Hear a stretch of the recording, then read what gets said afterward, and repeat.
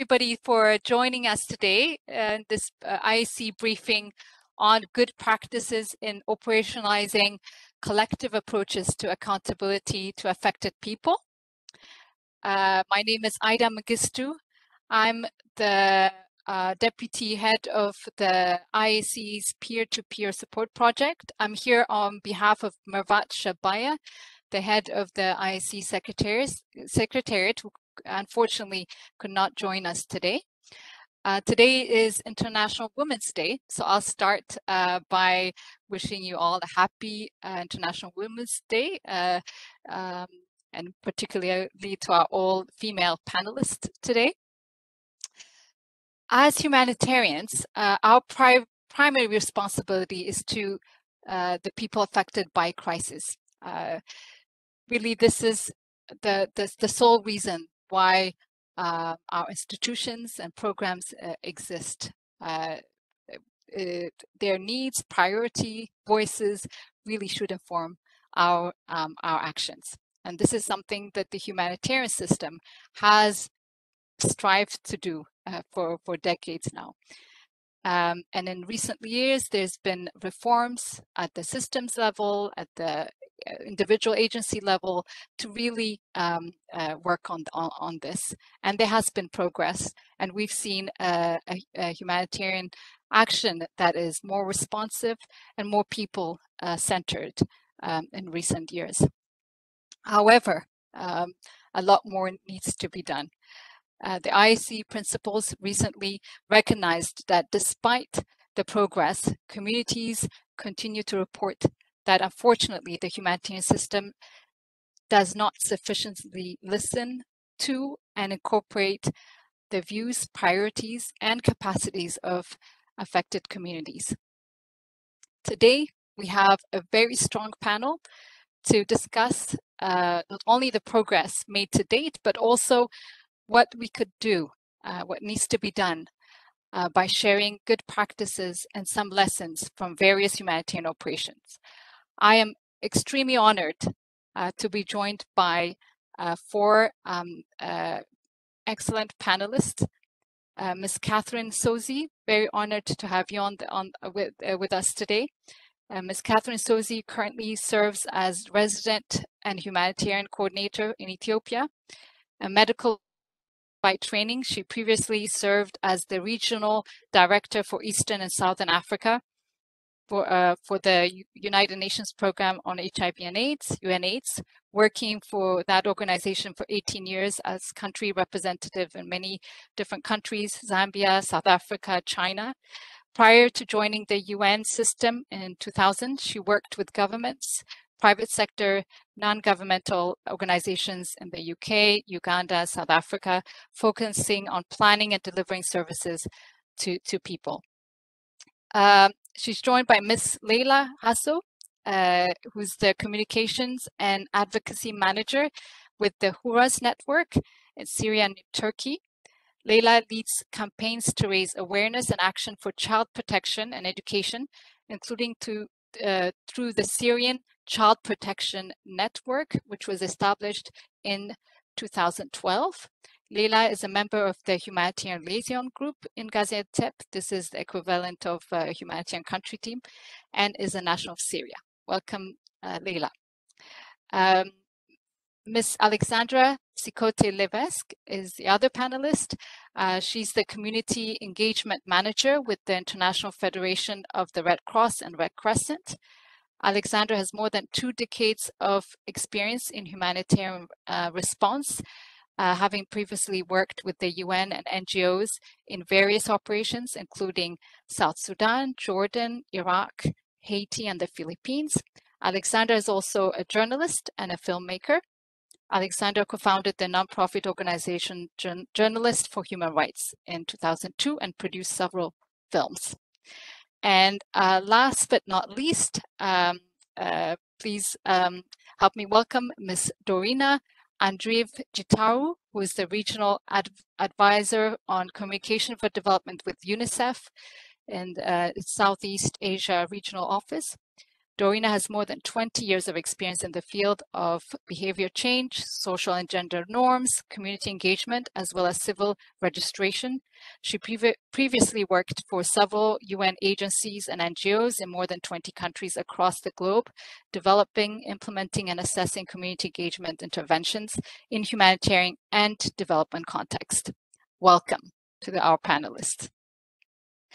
As per usual practice, we will uh, hear first from the panelists and then uh, we'll open the floor for to to questions. Um, I'll ask the, the, the panelists to to keep their interventions um, concise, so we have uh, ample time um, uh, to to really engage in the, in the in the discussion later on with the participants. Uh, for the participants, please use the chat box to share your thoughts or flag any questions that you may have for our panelists. Um, I kindly also ask our participants to please mute yourself um, throughout the presentations. Um, allow me to start with Ms. Catherine uh, Sozi. Um, Catherine, as a humanitarian coordinator, uh, you have an important role, uh, leadership role to, to drive the collective response in, in the country. Can you speak to us about the importance of leadership on the ground, setting the tone in prioritizing collective accountability to affected communities. Uh, specifically, it will be great to learn of best practices and concrete actions um, that you have taken uh, and, and taken by field leadership to better engage and respond to the feedback received by communities. Over you, to you, you, Catherine. Thank you, Ida, and good afternoon um, to colleagues. Um, I'm delighted to take part in this panel. Um, thank you for this opportunity to, to brief you on the good practices in Ethiopia and the importance of leadership, as Ida has said, um, to help us achieve our collective commitments of the 2016 Grand Bargain. To give more space to and get more means into the hands of people in need, and also to improve the efficiency and effectiveness of our action um, for them. I also want to take this opportunity, this time to appreciate the leadership um, and collective support of the UNSG, the ERC, and all those on the IASC um, um, principals and the emergency directors who have made great efforts and, and have provided a lot of support to us here in Ethiopia. And of course, I joined this panel today um, to speak about the leadership on the ground um, and the best practices and some of the concrete actions that we in Ethiopia have taken to better engage and respond to the feedback received by communities. We've grappled in Ethiopia with the many crises affecting millions of people in the recent years.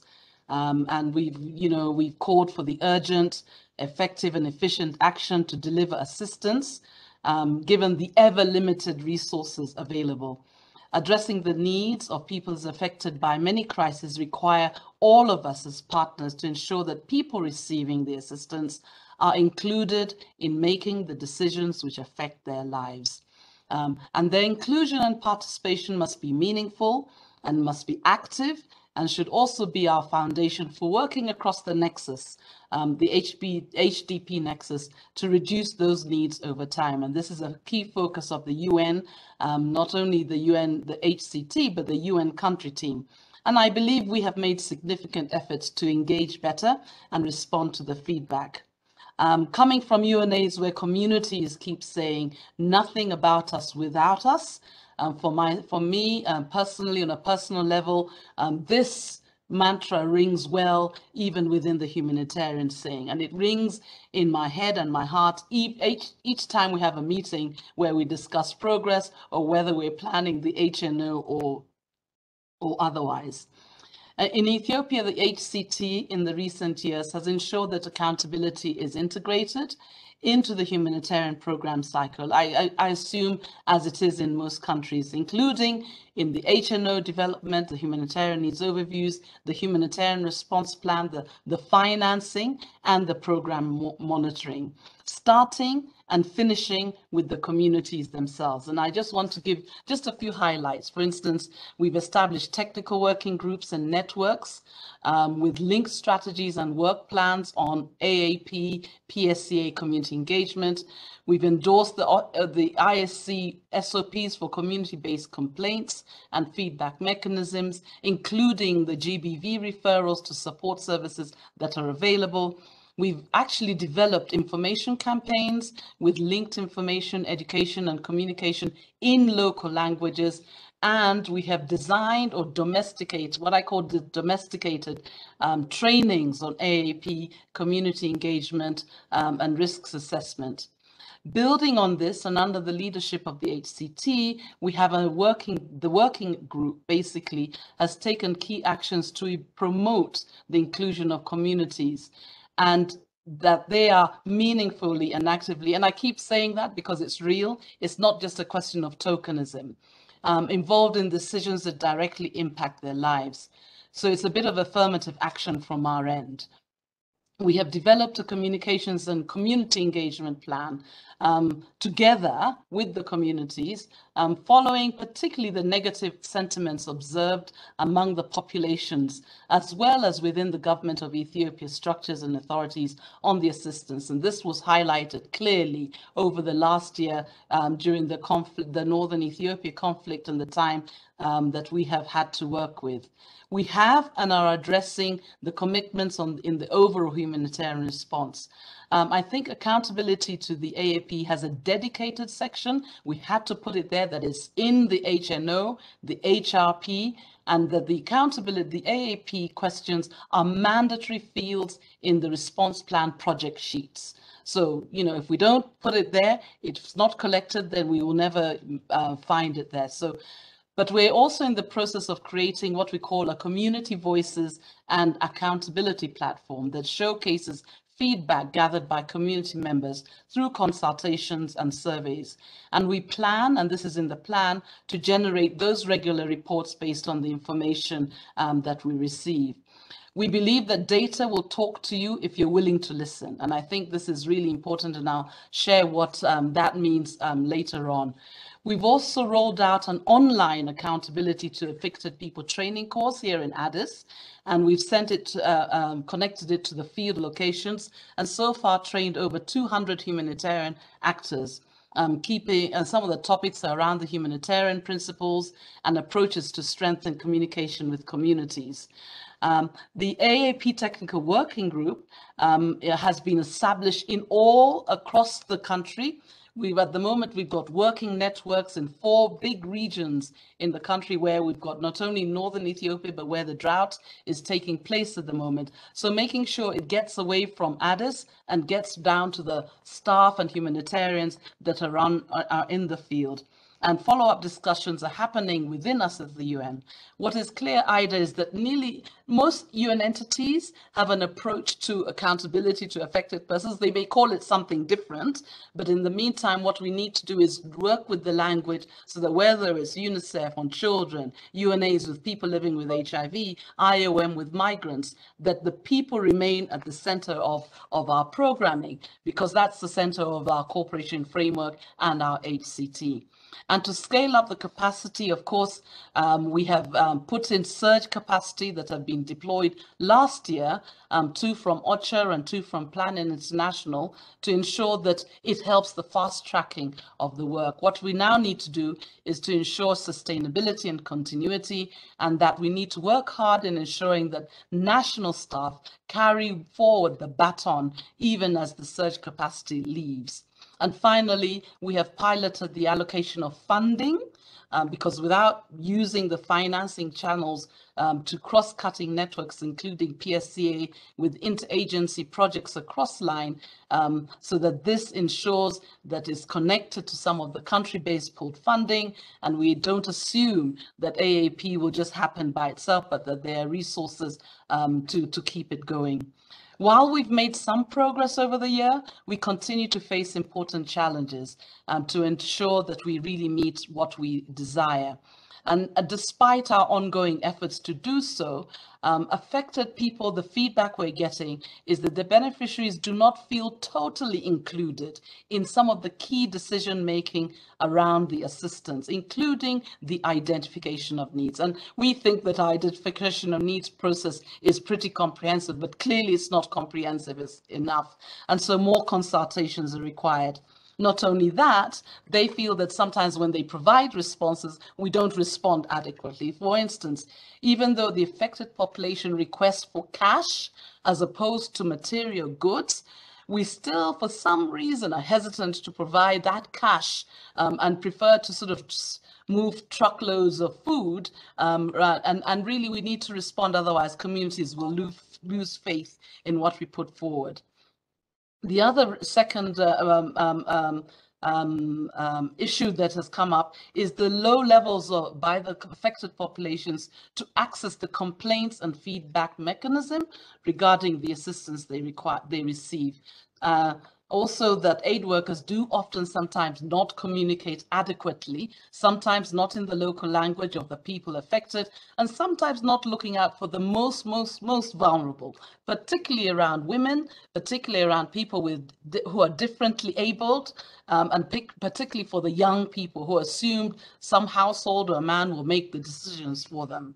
So in order to address these challenges, we will focus on linking up with the representatives at national, regional and district levels to share information on the, assistance, the assistance being provided while at the same time ensuring that they affirmatively ensure that the voices of all community members, especially the groups that I've talked about, are actually heard and brought to the table.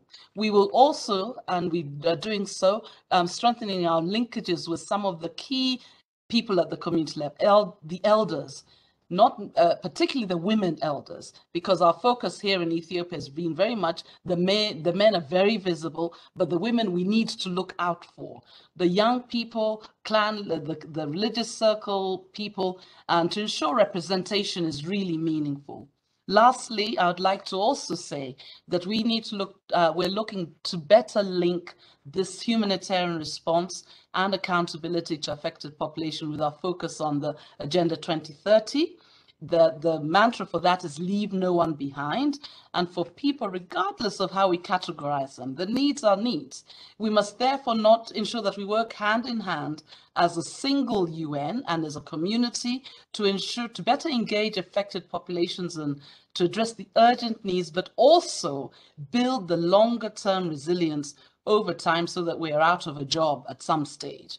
Leave no one behind continues to be the focus of the UN development system. And those caught in the humanitarian crises are the same people who are most vulnerable, who need a life of dignity and whose quality of life must be dressed and served.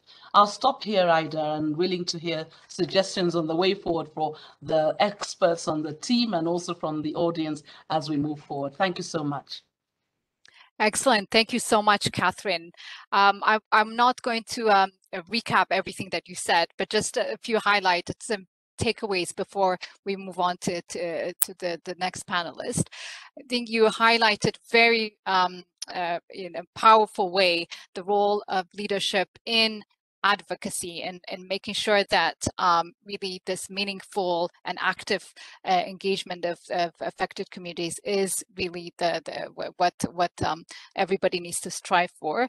Um, the mantra of nothing about us without us that's very catchy and very uh, powerful and uh, thanks for for for uh, saying that um, you highlighted that um, really throughout the, the humanitarian program cycle from uh, really from um, needs assessments to the response to the planning to um, the evaluation to the funding all that needs to really integrate uh, this meaningful and active participation of, of the affected communities. And that having a dedicated um, capacity investing uh, you spoke about the technical working group uh, really doing a lot of work and heavy lifting the the, the importance of this uh, effort to be not only at the central level, but also decentralized uh, to make sure that there is really uh, um, uh, you know, from all fronts, this is prioritized.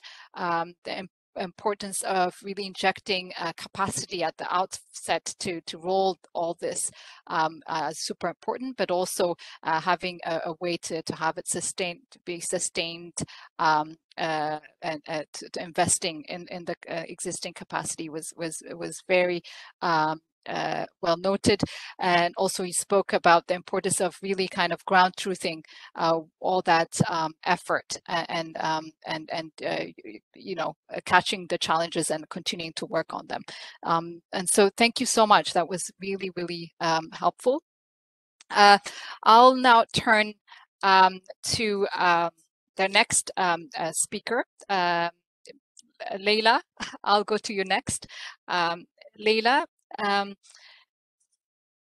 can you um, share uh, insight as a local um, uh, or uh, NGO representative on the importance of the inclusion of the voices of affected communities in the HLG. This is the equivalent of the humanitarian country team in Gaziantep.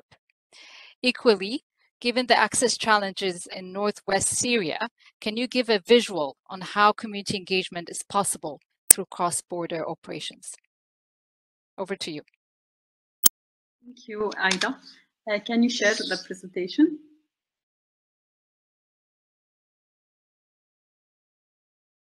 Yes, we're in the process of doing that. There you go. Okay. Okay. And the next slide. Uh, first of all, thanks for giving me the opportunity uh, to participate in this uh, important event.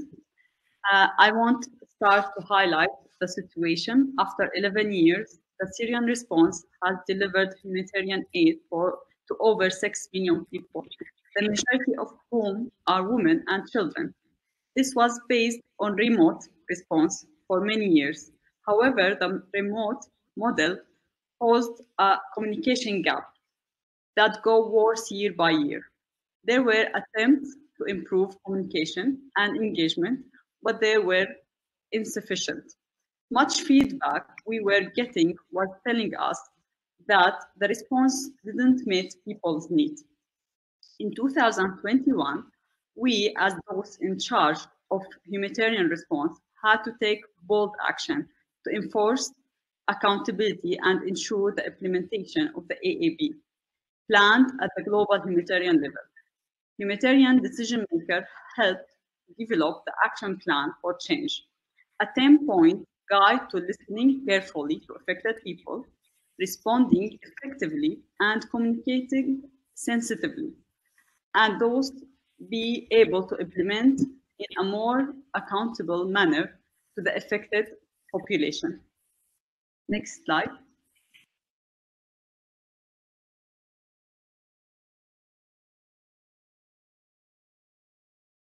Um, next.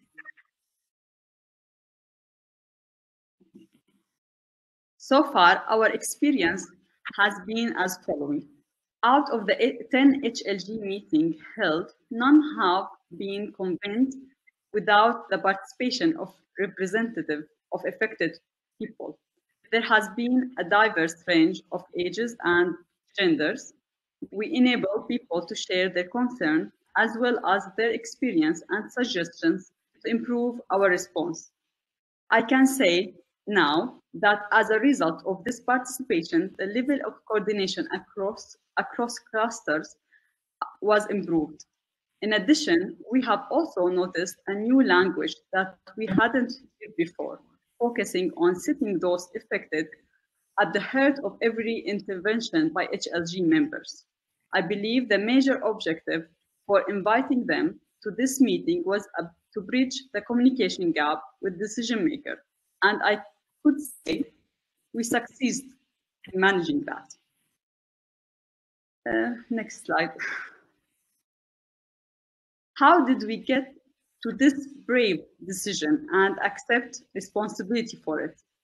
We used unconventional thinking, we're providing translation, and leaned heavily on technology. We rely on local community networks, of humanitarian workers on the ground, and I'd like to invite you to do that same in this meeting today. We have to redirect the response for being instructed by decision maker in NGOs or INGO to one that puts people in the center, especially after 10 years of supply chain approach. It was our responsibility to support decision makers, to make decisions that are in line with the needs of priorities of the affected people, which is reflected in the cost effectiveness. Next slide. I will give you example about that. People living in northwest Syria have been asking us stop, to stop giving them tents as shelter. Two billion dollars were spent on temporary shelter that can only last for six months before being damaged and replaced the following year. Now we will invest in dignified shelter and living condition, which will provide warmth in winter and ventilation in summer, and most importantly, be safe shelter during minor storm and poor weather. It will be important to present affected people with range of potential shelters and let them tell us what works best rather than paying, paying every year for response team salaries and charging the temporary shelter, which we all know will be damaged with the first rain or snowfall. Next slide. Let me tell you how the affected people are fully aware of how the intercluster system should function. In one camp, in one camp, there I, where I was supervising the production of a film that asking kids what kind of response they, uh, they preferred. The answer was surprising. One of the children, you can see him in the uh, uh, slides, who was an 11 years old boy named Omar, gave me an answer that matched the response of the best program manager uh, working within the organization, multi-sectoral organization. He told me to make sure that my needs were met, you must first provide me and my friends with a strong tent that will not, not to, to be destroyed at the first major weather condition change. And then you must ensure that the way to my school is always open. You also need to ensure that there is a medical center close to my home in case I become sick in winter. Finally, I don't need more basket food. I would rather prefer to rely on my father, work to my to make a living for my family. Very smart boy. Next slide. Why do we have to listen to them? Affected people may be able to advise us on how to improve inter interagency response and programming. They are the only ones who can provide us the genuine information that doesn't necessarily reflect the interest of response actors, which are mostly technical in nature and have become part of supply chain system. We need to trust the affected people. They know the problem better than us, and they those they better know the solution. We need to empower them we need to think about their right in recognizing their voice and agency, not just their needs. It's now our turn to use this information in the right way to provide a comprehensive response. Why do we have to listen to them? My simplest answer is that because we work for them the, in the first place. And this is my intervention. Great. Thank you so much, Dorina. That was really quite a uh, compelling um, uh, presentation on really the the the importance of having affected the affected people, uh, you know, participate in the humanitarian response. Uh, really quite um, innovative indeed. Um, in, in the case of Gaziantep, that you have uh, actual affected communities be part of the HLG discussions. Um, quite um, a, a, very good practice indeed that could be replicated elsewhere. Um, you mentioned um, tools and the, the, the, such as translation and, and, and others that need to be invested in order to make that happen. And I really appreciate that you've um, also in your presentation included pictures and stories that really put us uh, ourselves here in that in in in, in, in uh, uh, really understanding um, of, of, what the great work that you're you're doing. Thank you so much. Um, I'll uh, now turn to Alexandra. Um, uh, Alexandra, um, IIFRC has been a proponent of community engagement uh, and has adopted a movement-wide commitments uh, for community engagement and accountability. Can you share your views of what successful collective accountability to affected populations looks like? What are the key ingredients to achieve the golden star standard, quote unquote, in collective AAP? And how is it possible to do it with challenges in quality funding? Over to you. Thanks so much. And I think Catherine and Leila have already um, brought up in their great experiences some of the points I'm going to make. Um, so maybe I'll just first take a little bit of a step back and look at um, the word accountability because it's it's a big word that often I think creates confusion and also sometimes scares some people. Um, but ultimately, accountability is the acceptance uh, the acceptance of responsibility for our own actions. It implies uh, a willingness to be transparent and also allowing others to observe and evaluate our performance. But tangibly, what does that mean for humanitarians? Um, sometimes I like to turn it around a bit and think about what we need to deliver our work. Um, one way to look at it is trust. Um, it's a commodity that humanitarians have always relied on and perhaps that we've also taken for, for granted too often. Um, but as we now know more than ever, trust is not really acquired overnight. It's something that we earn gradually um, by including the people we serve in the decisions that impact their lives, by being transparent when something um, doesn't work out as expected. Um, so, so we, we now know that humanitarian responses which ignore community feedback and participation are neither effective nor efficient, um, and it often leads to distrust of humanitarian organizations that to me should really be the bedrock of why being accountable to the people we serve is so critical to our work. Um, recent crises, and especially um, the current pandemic, have shown that we need um, to do uh, things differently. Um, but to do that, it really will require disruptive steps. And um, ultimately, our sector needs to shift power structures and adopt ways of working that are really going to turn upside down um, a decades old system. So we also need to be realistic that this is going to take time. Um, and the commitment to ensure real participation goes way beyond um, setting up hotlines and suggestion boxes. Um, I think um, as humans, we all like um, quick fixes, but unfortunately, if we're going to do this right, it's going to be a bit more complex. Um, it's about hiring and training the right people, collecting and analyzing community insights at scale to adapt our work, and ensuring continuous dialogue to make real changes in the way we operate. Um, so to go back to your question, um, Ida, what have we really learned um, so far collectively? One thing I think that's so central that we've learned is that um, we really need to focus on operational coordination at the very early stage of a response. Um, we have the crisis in Ukraine unfolding as we speak, and this is so critical at this stage. Um, listening and engaging with people at an early stage, uh, at an early stage, but also ensuring that we collectively engage um, the decision machine. Sorry, uh, can I can I ask you to mute participants? Um, uh, thank you. Um, not sure who trying to unmute, but they, there you go. maybe not. Sorry, participants, whoever's, uh, can you please mute? Thank you. So I was trying to find the person to mute them, sorry. Um, so yeah, I was saying that it's really important at the early stage to ensure that um, that we engage the decision machine um, earlier based on people's views. So that we kind of counteract um, the tendency of agencies and donors to first set the programming priorities and then consult. Unfortunately, we do um, to this day too much of that.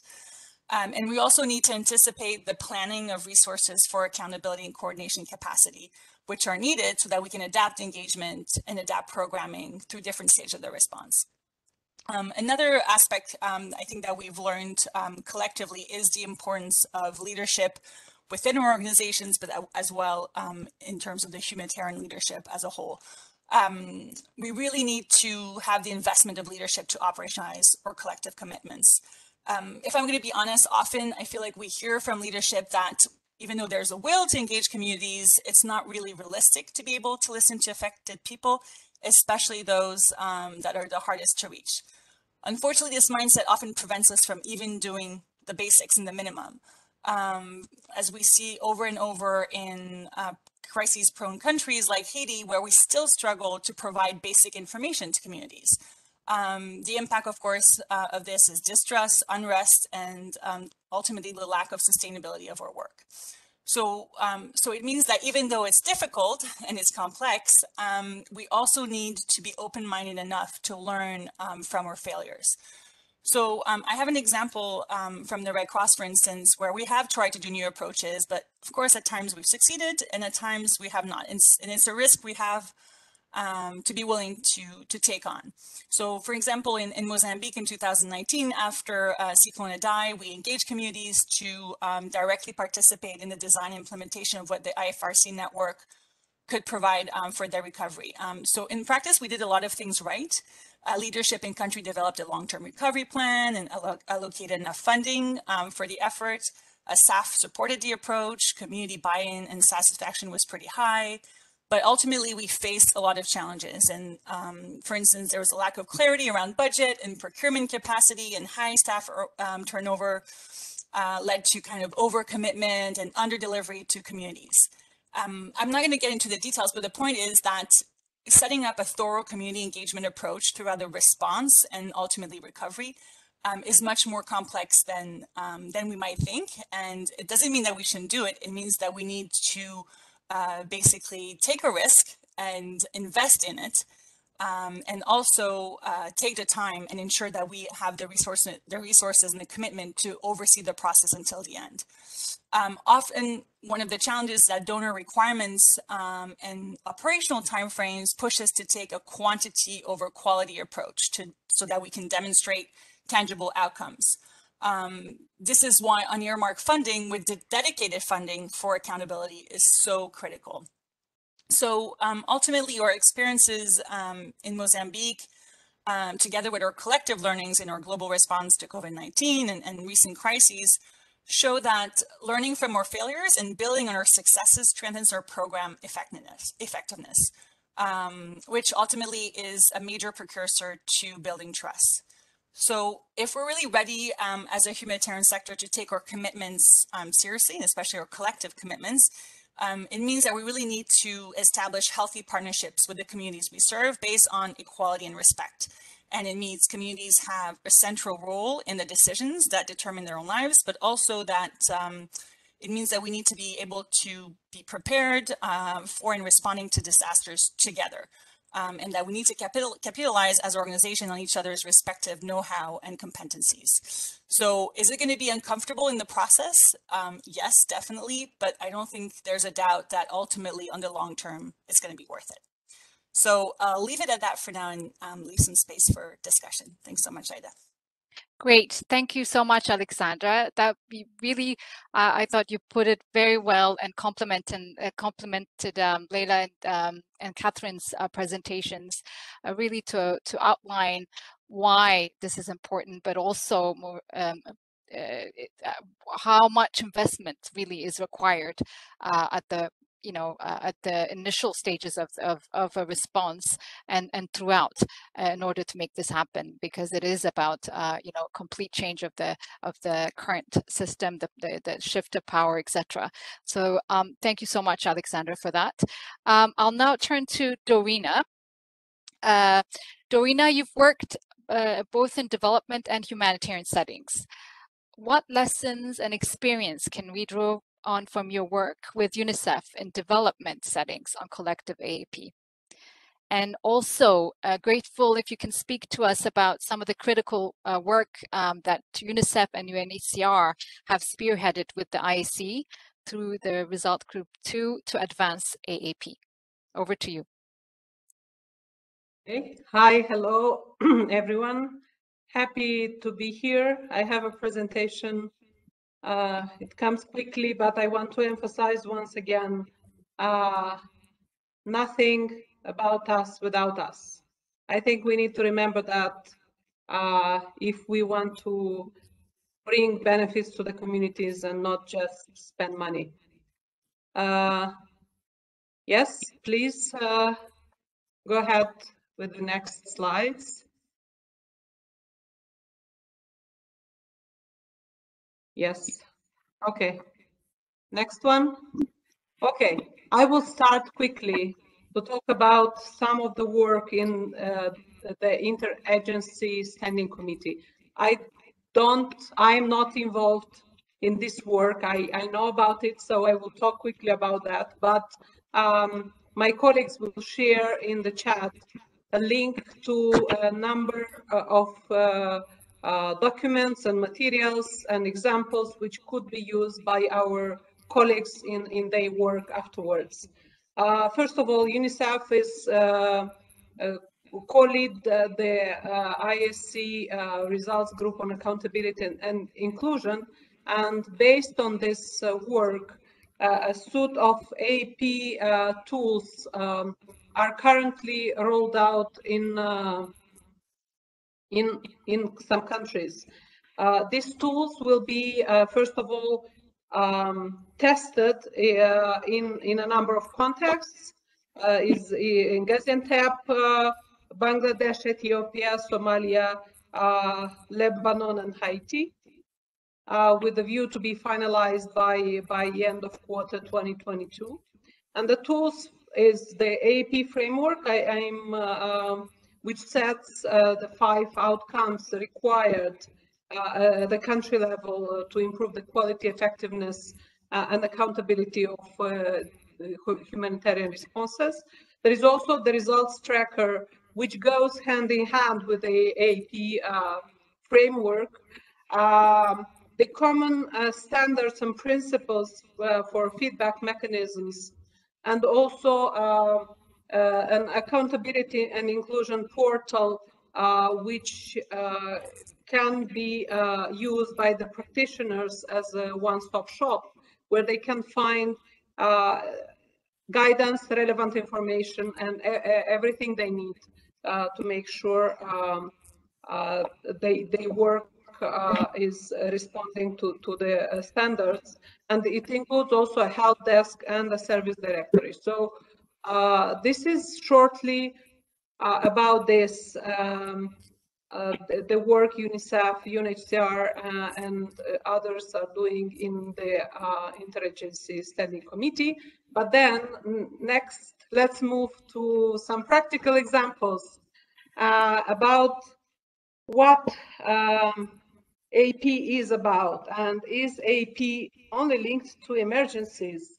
Because um, what happens when a, a main emergency strikes? we have a lot of questions and we as professionals uh, uh, are running around uh, trying to understand where, how, uh, uh, where are those in need of immediate assistance, how do we reach those uh, affected ones, information they need, what support they need, how do we inform about service availability, provide life-saving saving information, how do we deliver support, what are the potential partners on the ground? And um, how do we ensure that the support we are really delivering reaches those affected and not others? Uh, how what are the complaints and how we can respond to these complaints? How do we encourage those affected to help each other and care for each other um, so a number of questions which take us time to respond. And in the beginning, we are trying, you know, to rush into the action. But By the way, the systems should be there already in place in, and used before. They should only be adapted. And those systems should be used during the development uh, stage, not when the emergency strikes. Next slide, please.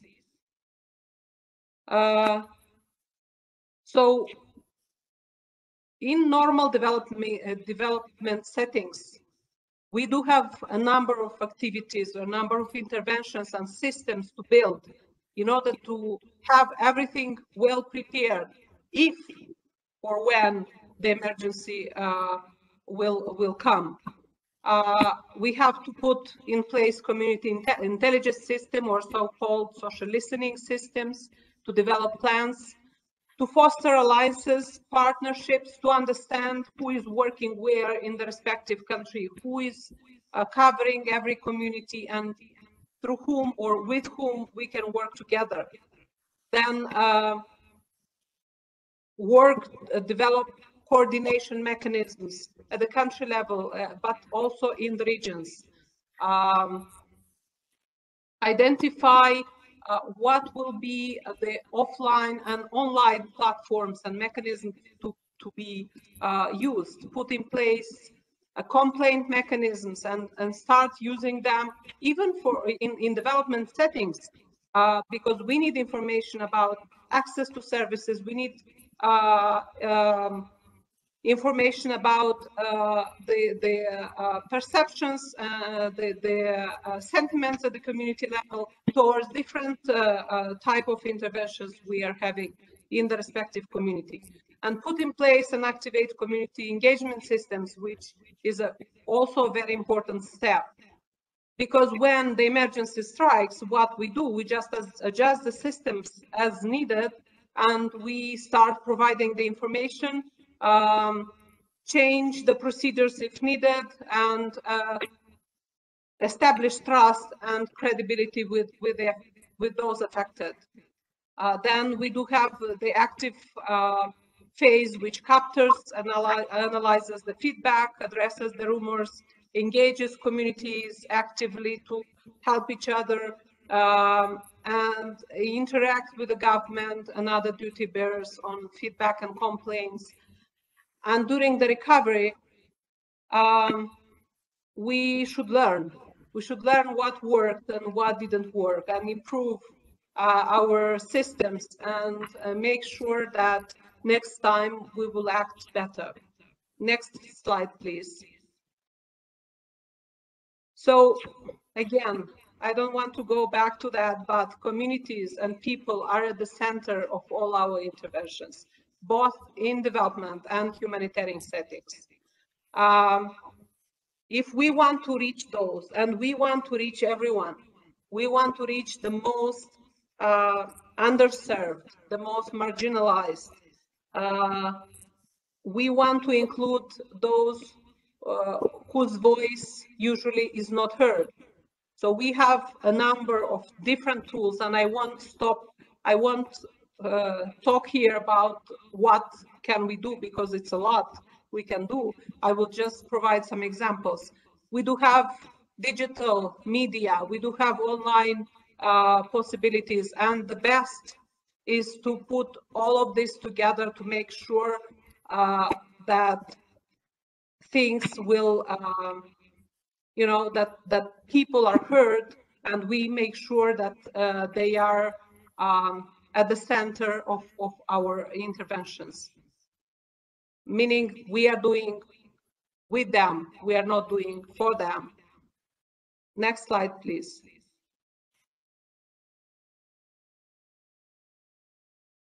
Okay, uh, there are several uh, examples here, and I don't want to, because uh, there are a lot of examples. Uh, so I don't want to um, take too much time. You have all this information in the link which was shared. I will just go quickly uh, uh, through uh, all of these examples just to uh, to make sure that you know to explain a bit what they are about.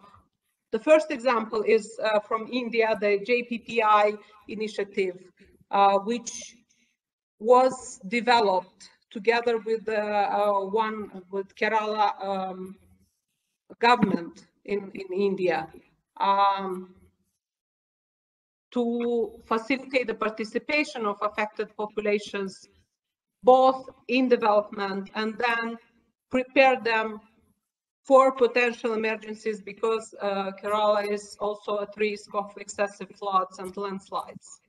So uh, how does it work? You can read a lot more in the material. First of all, I want to say that uh, this initiative involved a, a large partnership with government and intergovernmental agencies, UN agencies, civil society in India, media, local NGOs, universities, um, and so on. And it worked with through the local self-government department, through self-help groups, and uh, it's it's an initiative which reached phase two now and is working is going on very well. Uh, next uh, next slide. I will talk quickly about the uh, Nepal example, which is how do we use online and offline tools for community feedback and social listening. And it's very, very small. I don't know if you see maybe better than me, uh, but um, I won't go into this again. You can read it yourself. Um, besides all the uh, tools to gather data, which are online and offline, uh, the um, uh, Nepal uh, country office also uh, developed a chatbot uh, for all three platforms, Viber, WhatsApp, and Messenger, gathering all the all the questions and giving answers to all the burning questions people, journalists, uh, and activists can have. Next slide. This is about Nepal, uh, a myriad of different uh, type of interventions, starting with volunteers, scouts, uh, uh media, and Talkwalker, um, also um, helplines and uh, community radios and so on. Next slide. Yeah, that's another great example. Uh, uh, an example about in a, from Afghanistan about community engagement structures and accountability in health, uh, which uh, is bringing, uh, you know, showing how all the community structures get together, all community volunteers, community health workers, uh, influencers, and everyone is working together to, to reach the goal. Next slide, please.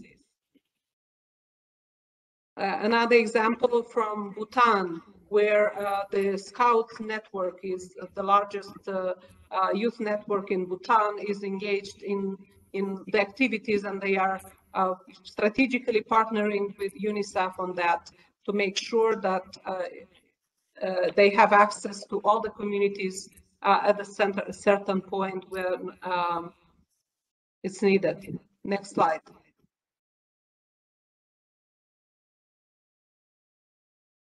Uh, another information feedback center in, in Cox's Bazar, which uh, is a network of 12 information feedback centers located in strategic points in camps. I won't explain what the camps are in Cox's Bazar, probably everyone is aware. Um, it's the largest refugee community. Um, so we do have a lot of interventions there, and this information and feedback centers ensure the fact that every, even the most um, excluded is included because we do have youth volunteers and uh, mothers who are also visiting the households and talking to people, those who cannot come to the information and feedback centers. Next slide. Um, another interesting initiative to empower community leaders uh, in Sri Lanka is called Tireless uh, Hearts Behind COVID Response. As you see, it's a chatbot and um, uh, an online training session was uh, provided to uh, almost 7,000 community leaders who uh, uh, will also go and talk to their communities about COVID and uh, gather information, ask questions, and bring answers to the communities. Next. That's a very small one, so I won't go into the details, otherwise you won't uh, understand uh, what I'm talking about. I, uh, I encourage you to look at the presentation and all the documents which are shared by my colleagues in the chat. Uh, thank you very much for, for this opportunity. And I think that uh, it's a lot to say and uh, it's a lot of, of a lot of information and a lot of things we need to put together to make sure that we have the same understanding of what AP is, what community feedback is, and how do we build the systems in the development to make sure that during the emergencies we have at least something and we don't start from scratch. Uh, but I will stop here. Thank you very much. Great, excellent, Dorina. Thank you so much. That was another compelling um, case for really making that investment uh, in the development, uh, you know, uh, uh, interventions to, to make sure they are in place uh, once a crisis strikes. So that, uh, you know, um, and, and, that you made a very strong case for that. And thank you for sharing all these best practices and examples of tools. Um, uh, just to, to remind everyone that this um, recording will be posted on the IASC website, uh, so you'll have the opportunity to, to um, you know, refresh yourselves and, and, look at the presentations um, then as well. Um, we'll now open it up for a question and answer um, session. Uh, we have uh, about 30 minutes uh, to go over that. Uh, we've been monitoring a little bit the the the, the chat uh, uh, box. Thank you for sharing um, your comments there. Um, I will just uh, pick a few uh, uh, as a, a, group a few, and then we'll turn uh, to the panelists to answer uh, or, or, comment. Uh, and then um, we'll pick another few and we'll go from there. Um, one of the participants shares the example of northeastern Nigeria, um, and and mentioned that you know the the the there the issue of localization um, has been prioritized and, and, really sharing that as best practice to ensure um, this um, community engagement is um, prioritized through uh, localization. Um, and so that would be uh, great if uh, perhaps uh, perhaps Catherine, you can take that one, perhaps, uh, uh you know, uh, elaborate a little bit more on on this issue of how localization of the humanitarian um, response really also supports um, AAP.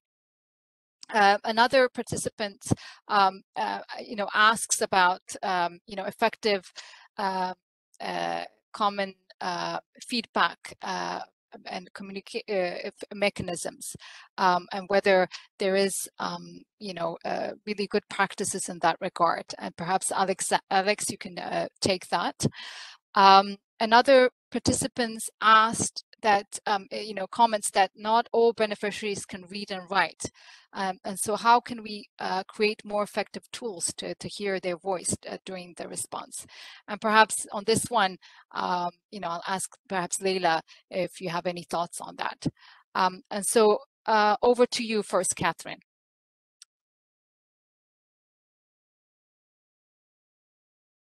Thank you. And um, I, I, like the suggestion coming from Northeast Nigeria because that's exactly what we're trying to do. I think um, actually um, um, we have somebody who's called helping us to coordinate the Hingo Steering Committee who came from Nigeria um, and has been working very well with us on trying to do this. Ethiopia is a, a slightly different context because um, um, the civil society, national NGO community around the humanitarian response has not been as strong as it probably is in other African countries. Uh, and so there is a big mix of um, international NGOs as opposed to the national NGOs.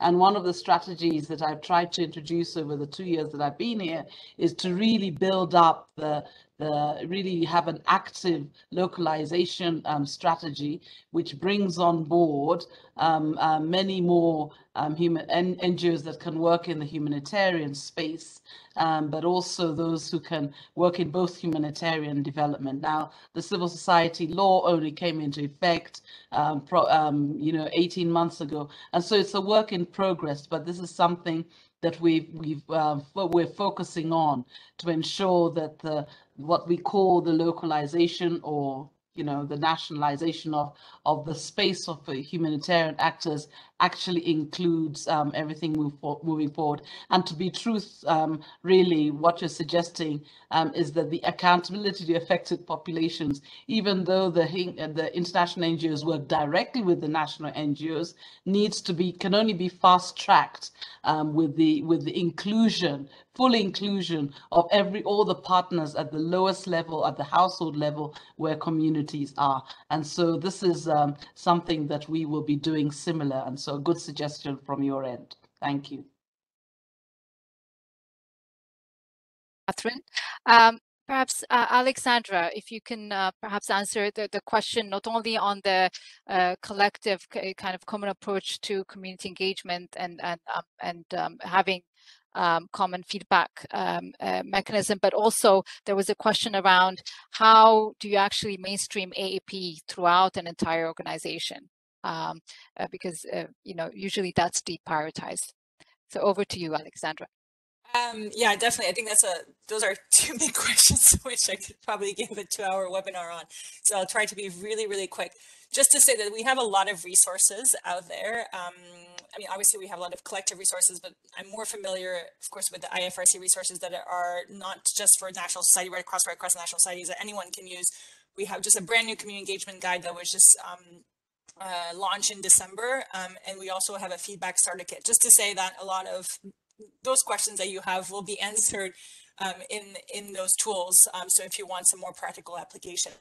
But just generally in terms um, of, of mainstreaming accountability and as well um, a successful kind of collective community feedback system goes back to what I said a bit in, in my address was that um, you need buy-in. You need buy-in from leadership and you need buy-in to staff. So I think um, often these initiatives start at the technical level by those focal points, but um, uh, but we need to make sure that everyone in the organization, from leadership um, to different departments, even logistics or procurement. In my example from Mozambique, that was part of the challenge that we realized is that we hadn't engaged those colleagues that work in administration, in logistics and procurement who needed to adapt their work based on community feedback. So if you're going to mainstream accountability or even do uh, a collective community system, you need to have buy-in from every level of the organization and especially from, from leadership. Um, in terms of, of community systems specifically, um, I think we need to also be able to um, determine a bit the scale of, of the feedback mechanism and as well if is it going to be just a passive system in terms of if people come to us to provide feedback or a proactive system, which takes often more resources.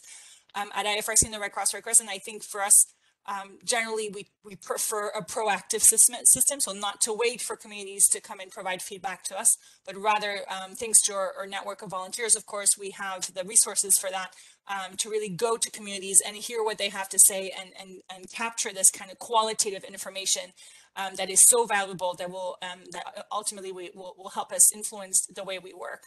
Um, but also um, defining, you know, the channels for feedback systems. So especially if it's a collective one, um, which channels are different organizations using, which uh, channels are trusted by communities, um, um, which role each organization has, what is the added value of each organization, and which um, channels should we leverage based on, on that experience.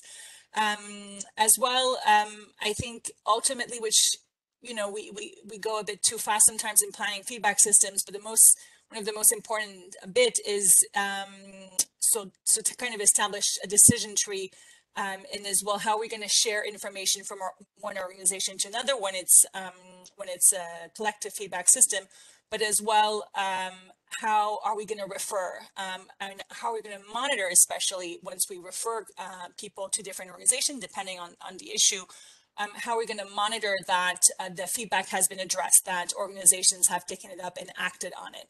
Um, and that's the $100 million question a little bit for feedback system because um, we can collect all the information and all the data we want and we can analyze it, which is a critical issue. Um, but if we are not equipped to address it and we don't go back to the community to, you know, of course, um, close the feedback loop, um, then the system is ineffective. And of course, um, it becomes an accountability issue and problem in itself. Um, so we really need to, to be able to, uh, to map out how every step is going to be um, taken care by, by whom and how at, when we set up such a, such a system. So I think I'll leave it at that for now because, as I said, I could probably give a whole lecture um, on just mainstreaming accountability, but I can maybe um, add on a few more details later on. Excellent. That was very helpful, Alexandra. Thank you. Um, there's a couple of uh, questions. Perhaps Leila, you can you can um, help. I think the one I mentioned earlier around, you know, there's the beneficiaries that are not that, that do not uh, write, read. How do you make sure that that they're effectively um, uh, uh, you know, included in, in the response. Uh, another one is around, um, there is a comment that, um, you know, the need to disrupt, you know, the power structures, uh, you know, really key as being key to moving forward on AAP. Um, this participant is actually questioning if that's possible. Uh, we putting too much hope in localization. Uh, um, and so you, you've shared a very um, practical example how you're doing that uh, at the HLG. So perhaps you can be, you know, share some specific details on how you went about um, doing that um, in Gaziantep and perhaps also a bit on the outcomes because uh, there was also another comment around the examples on how this actually has helped in terms of the response, uh, in terms of, uh, you know, uh, fundraising and the actual response. So over to you, to Leila. Thank you. I will, uh, he will help me, the translator. I'll talk in Arabic and he will. With pleasure, yes. Okay, excellent. I hope you understood that. Yeah, definitely. Yep, yes. perfect. Okay, thank you. بالنسبة للسؤال الأول بالنسبة للسؤال الأول بموضوع ال ال ال الأشخاص اللي ما بيقدروا يقرأوا فنحن بالتأكيد أول جواب هو إنه نحن حنعمل ريلاي على التكنولوجي مثل ما حكيت سابقا. بالإضافة لاستخدام خبرتنا. الكثير من التكنولوجي اليوم فيها تستخدم الرسائل الصوتية وفيها تستخدم الفيديوز. بالإضافة إنه نحن كمنظمات عمل إنساني عندنا كثير اكسبرت بالتعامل مع إنه نعمل المواد كلها بلغة مناسبة للمجتمع مثل إذا عم نحكي مع الأطفال فبنعملها بلغة صديقة للطفل. So definitely as for the first question regarding those like not all beneficiaries can actually read or write? Uh, the answer is yes, definitely. As I said earlier, we can rely on advanced technology. As I said, uh, at our NGOs at the local level, we do have lots of expertise and experiences where uh, through which we can use lots of diversified audio and visual tactics and uh, mechanisms and tools as well uh, in order to share such uh, expertise with the beneficiaries. For example, uh, to know what language we use with uh, each and exact community. For example, if we are addressing children, then we can use a children-friendly tools and language. بالإضافة حتى فينا نحكي عن disabilities people غالبا المواد لازم تتحول لمواد قابلة للقراءة من disabilities يعني الأشخاص اللي ما بيقدروا يسمعوا نحن لازم نتأكد إنه في visual يقدروا يشوفوها واللي ما بيقدروا يشوفوا كمان لازم نعتمد على الأنظمة الصوتية. So yes, even uh, with the people with disabilities, we can help them a lot. Uh, for example, we can, for those who cannot hear, we can have visual uh, uh, kind of tools, and for those who cannot uh, see, we can use the audio and acoustic tools in order to communicate better with them. بالنسبة للسؤال الثاني لما كانت عم عم تسأل عن موضوع أمثلة تجربتنا بغازي عنتاب فاذا رجعنا للبرزنتيشن حنلاقي في مثال كثير واضح بإنه لمدة 10 سنين نحن كنا عم نقدم شلتر الشلتر هو مؤقت وفي أنواع من الشلتر اللي صار هو نحن لما شاركنا هدول الأشخاص ودخلناهم على اجتماع مع دايركت مع مع مع الديسيجن ميكر مثل ما حكيت سابقا صار في تغيير ل ل للميثودولوجي بال... بال... بالاستجابة لهدول الأشخاص لأنه سمعنا منه مباشرة. آه، بعد ثلاث اجتماعات أو بعد اجتماعين فورا صار في آه، صار في بلان آه، كثير واضحة إنه كيف نحن حننتقل من مرحلة الشلتر المؤقت اللي اللي ماله اللي ماله سستينبل لشلتر هو بضل فترة أطول. السبب المباشر فيني أحكي اليوم هو مشاركة الأشخاص بشكل مباشر. وبهذا اليوم بتذكر إنه اللي دخلت حكت ما بتعرف تقرأ هي سيدة آه، آه، كبيرة بالعمر. بس حكيت لهم ببساطة بلغتها البسيطة هذا الشلتر كيف عم ياثر عليهم So yes, definitely. As for the second question, it was very clear in my presentation. As I've said, over the past 10 years, we have been given timber shelter for the affected populations in the northwest of Syria. And we decided it was time to change this methodology. And it is very important to have those people included in the process of the decision making. So we uh, did create this kind of shift, transformation in the methodology and the response as well. So they were included. And after two or three sessions uh, and meetings for the HLG level, where some of the beneficiaries were actually there attending the meeting, uh, participating, uh, and sharing their own insights on the uh, situation and the overall situation. There was very crystal clear action plan that was taken to change the entire Burman shelter into a better dignified shelter with better and dignified living conditions for the next year. And so what we did was very simple. We had all those voices included conveyed and heard. Then we had them participating in the process of the decision making. And by the way, the lady who attended was illiterate. She was a very elderly woman, and she spoke. Uh, she has spoken in a very clear language, talking about her needs and the way that she thinks it is better for her to move from the temporary shelter into a better dignified shelter. Yes, thank you.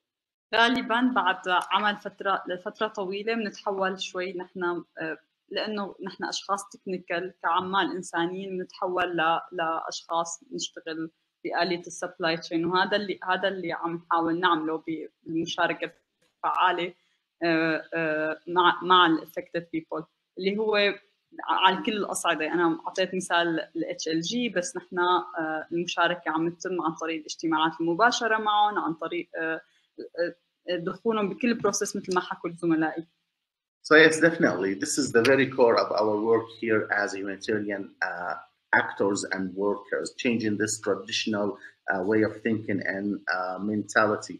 It is active participation for the affected populations. So not only I give the HLG meeting as an example, but actually we're talking on all levels. We do have direct meetings with them. We sit with them, we talk to them, we listen to them so that we have all their insights and ideas being reflected in our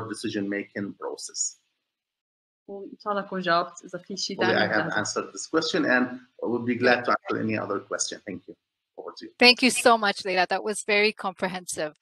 Um, uh, uh, perhaps um, I'll turn um, to, um, uh, to, to Dorina uh, for this one. Um, what are some of the good practices of AAP in the context of durable solutions and in particular resettlements? Um, given that some decisions pertaining to the refugees are beyond the control of, of, UNHCR partners. Um, um, Doreen, I don't know if you mind uh, taking a stab at that one. I think Lila could answer it better than myself uh, in this case. Uh, so um, um, uh, uh, Dorina, perhaps I'll I'll I'll uh, turn to you. There's uh, there's been a couple of um, comments yeah. and questions on how do you actually um, uh, you know kind of uh, show that leadership um, on on AAP. Um, you know, even though there are some, um, you know, it's it's an incredibly challenging uh, issue as it involves, you know, really changing the mindset and and really goes against uh, kind of the, the, the structure. So how do you give that uh, kind of uh, some teeth? I think well, the one of the participants said to AAP, and also uh, practically how you mainstream it throughout the whole um, response. I know the, all the the presentations have has kind of have alluded to that, but I think it seems like you know if you can share a little bit more on, on some of your experience on that, that would be very helpful. Yeah, I think the first is to ensure the leadership commitment and to uh, make sure everyone, all the humanitarian actors are around the same table and discuss and speak the same language. Uh, otherwise, uh, you know, everyone is doing uh, the, his work in, uh, in in different communities and no, nobody knows uh, what others are doing. So um, we end up with uh, some communities left out, for example, and uh, some some people who are not included. Uh, that's uh, that's the first. Then, in practical terms, um, it should be included in all the programming. And as I said, uh, systems should be built before. And when we talk about AP, AP and feedback mechanisms is a small, small part of the community engagement system, which should be built uh, and uh, meaning working and mapping the main influencers at community level, make sure that uh, they understand their role, also make sure they understand they have to include the most marginalized and uh, having uh, uh, the platforms of discussions and dialogue at community level and having uh, different using different communication channels uh, using the uh, for example sometimes religious leaders uh, sometimes grandmothers or elder elders or you know young people uh, make sure that that everyone is heard and uh, uh, the intergenerational dialogue is also happening. So all of this work should be done a lot before because when there is a huge emergency and uh, it's not so easy to make sure that we have all uh, we have we know all those people and we have all the resources and we can engage everyone in in the uh, in the response. So uh, that's that's the first. I would say the first step. then um, I've I've seen a few questions about Bangladesh, and maybe I could answer those. Please go ahead. Uh, so um, what were the challenges uh, and uh, the lessons learned from Bangladesh uh, information and feedback centers. Um, so one lesson, lesson learned is that fixed information and feedback centers uh, don't work very well. We need to have also a mobile component people, young people, women going around in the community and making sure they deliver information and they gather feedback and they go and bring answers to, to the respective feedback. Uh, another issue is to be creative. That's a lesson learned. Not only sit uh, on, a, on a chair waiting for people to come or going around, but also making sure that you use any uh, any tools available like radios, speakers, mics, um, informal leaders, and so on. Uh, another challenge and, and uh, a lesson is linked to data entry analysis, um, providing feedback, but most um, the most important is also how do we use this uh, uh feedback for um, in programming, how do we adjust our interventions based on what people are saying? How quickly this can happen? How do we integrate this uh, into existing already donor-funded proposals, which you know are already pre-established in a way? Uh, so this is uh, an, so flexibility is is another uh, uh, point we need to take into account. Um, and of course, community engagement is the core of the response. Community feedback mechanism, and I saw several comments about that. Community feedback or the grievances mechanisms are a, a part of it, but not all of it. Uh, the community engagement is uh, at, the, at the core and the systems should be built um, uh, beforehand. And uh, the, the, the last uh, I, I wanted to say is that many, many agencies had information, different kind of information centers in, in the uh, Cox's in the refugee camps. And um, the coordination wasn't quite there. So the idea at the end was to create an information hub sub-working group uh, for the camps to make sure that everyone sits at the table and coordinates to have the standard SOPs um, to make sure that all the uh, the small the challenges small or big come to this group and are discussed and so on. Thank you. Great. Thank you so much, uh, Dorina. Um, I think, unfortunately, we only have about 10 minutes left before we, we, we close. So I'm going to just pick two questions uh, and, um, and for, for all four pa panelists to, to come in on.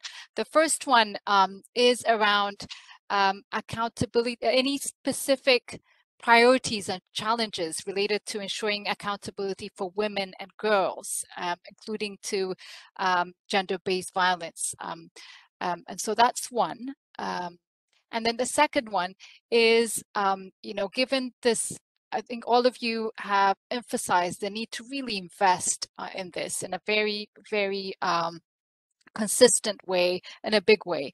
Um, and so, and that requires funding uh, most cases as well. So how can we bring in donors uh, to really um, support this, um, uh, you know, the, this, the, these efforts? Um, and so perhaps, um, uh, Catherine, I'll turn to you um, to, to, to, to, to start. Thanks, Ida. And uh, I don't know if I have all the answers, but I think that the accountability for women and girls is part of the accountability for affected populations.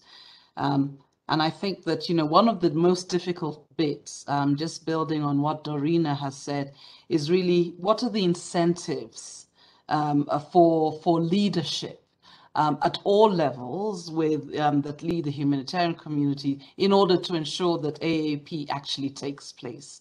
Um, and I think we have to use the existing HR tools that include performance appraisals of all people engaged in delivering. It means that even myself as the HC, for instance, in the compact that I have with the ERC, this is one of the deliverables. I'm being held accountable to ensure that AAP is at the center of the response. And you can give examples of what that happens. But it needs to happen throughout the system. It needs to happen with donors. It needs to happen with UN agencies. It needs to happen with the country directors.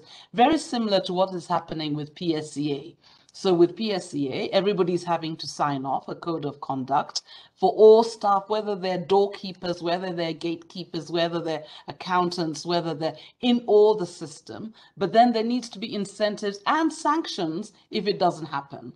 I think that, you know, otherwise we can talk about it and it sounds like a great idea. One of the challenges I have as HC on the HCT, of course, is that not, not everybody's accountable to me. I'm only responsible for the heads of agencies and can in input into their performance at the end of the year, but for the donors and everybody else, there needs to be some trust building that goes along. And so the accountability for women and girls falls to that.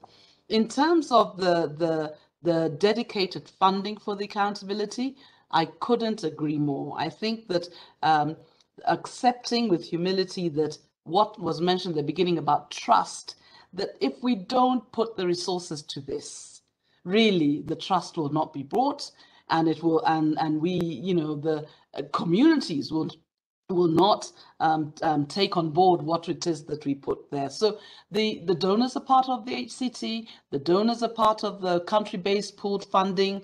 Um, there's many engagements, you do joint missions and all the rest of it that we put there. And we need to make sure that specific budget line must be a component um, in the in the planning. That's why we said for every part of the planning cycle from beginning to implementation, and then for M&E as you do the whole cycle, that is part of the system. If without the resources, I'm afraid that this trust um, issue will be broken and we will not be able to. But that's what we're trying to do here in Ethiopia. Thanks very much, Ida. Excellent. Thank you so much, Catherine.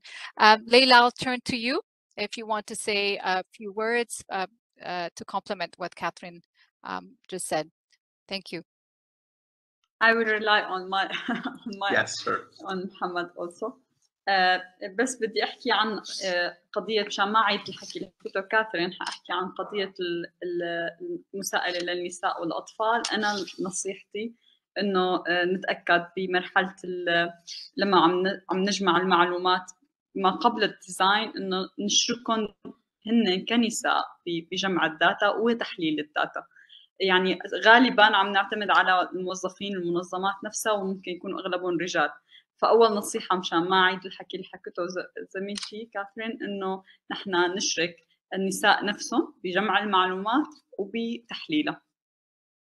So yes, uh, actually, uh, I want to beat what Catherine has just brilliantly explained, but regarding the accountability towards uh, the AABs, especially for uh, Women. women and children, uh, we need to make sure that women themselves are included. And here I'm talking about the pre-design phase. Once we uh, collect the data, once we analyze the data, women should be there at the very center of these two very important uh, elements, so to speak. So usually the majority of the organizations, what they do is that they rely on their own staff that is mainly men. So the solution is that no, we need to have women there, to have women in the process of collecting the data and analyzing the data. Thank you.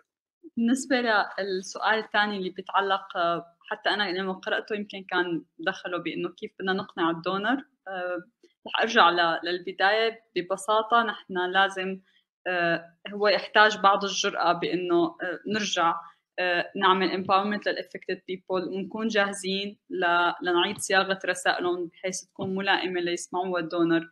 وهي التجربة هي عم أحكيها عن تجربة بال HLG في بعض الدونر بيحضروا ال HLG وعملت شيفتنج هي المداخلات لهذا السبب. فنحن بدنا نعملهم empowerment كيف يحكوا رسائلهم بشكل فعال لل AAB آه، كيف آه، لل affected people بقصد وكيف يوص... وبالإضافة للغة. فلازم يكون نحن دورنا كأورجنايزيشن نكون نحن البريدج بينهم وبين هدول الأشخاص ويكونوا هن قاعدين معهم.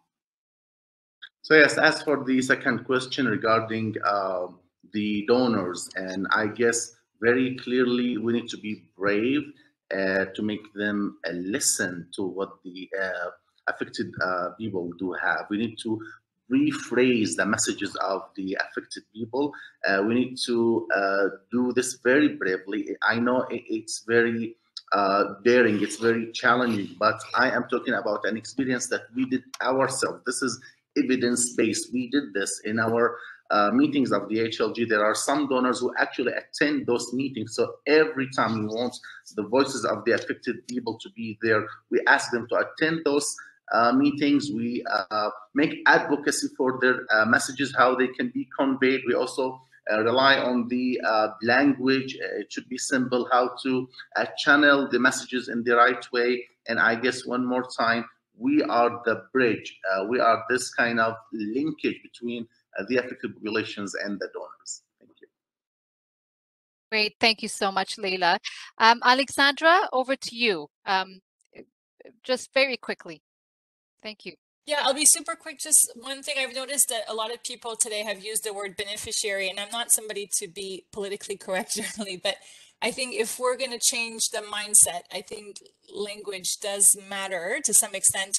And I know for us at IFRC, we did a lot of advocacy internally to stop using that word, and we've banned it, if I can say, from from appeals and from emergency plans of actions and whatnot. So um, it wasn't an easy thing to do, but um, and I think it it's really important to show that uh, we're ready to change our mindset um, by modeling a little bit that language. So um, so maybe if we can commit to at least try for that um, this time around, and then hopefully that that will open doors to to change a bit more um, for now. So that's just a quick message.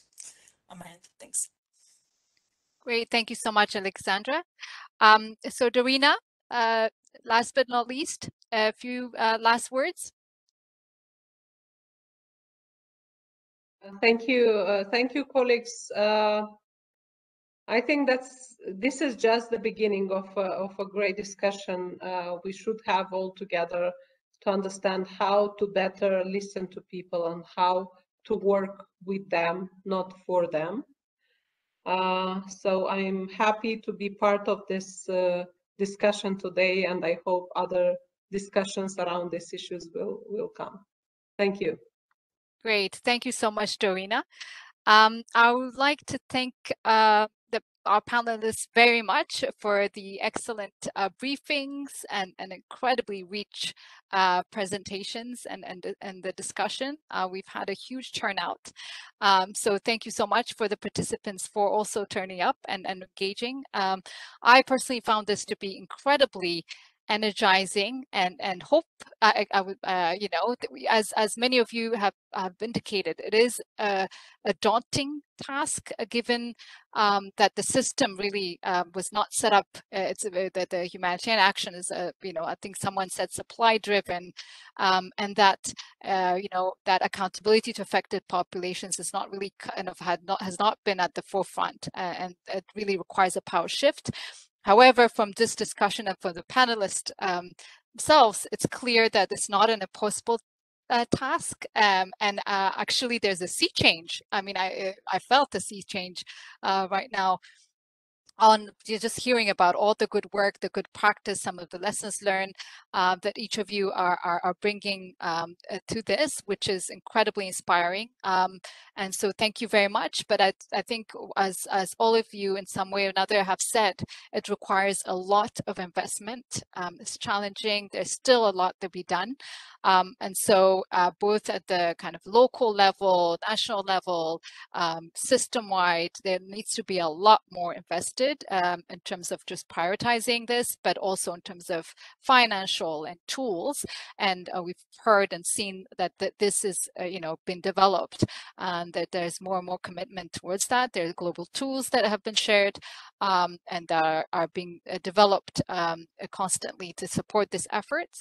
Uh, but I really really honestly want to thank all of you for your leadership and for for being uh, so ready to present this. I think it's it's been incredibly um, helpful um, uh, to me um, personally, but I'm sure to everyone uh, uh here. The this recording uh, will be posted. There'll be a recording that be posted on our website, so more people get to get to benefit from from this discussion. Um, and so um, I know um, I think Ali has put uh, the link um, uh, to this, um, and so you you will get to, to revisit uh, this discussion and, and and also share it uh, more broadly. Um, so thank you very much, and uh, we'll have more um, uh, of these briefings this in 2022. So please stay tuned. thank you very much. Thank you, Thank so you very much. Thank Bye. you. Thanks. Bye. Okay. Bye. Thank Bye. you. Bye. Bye. Bye. Bye.